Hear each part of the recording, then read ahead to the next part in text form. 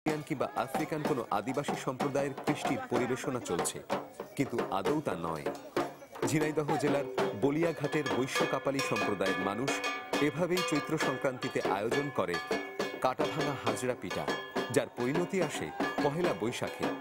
এটি এক ধরনের ধর্মীয় বিশ্বাসের বহিঃপ্রকাশ, যা পালিত হয়ে আসছে প্রজন্ম থেকে প্রজন্ম পরম্পরায়।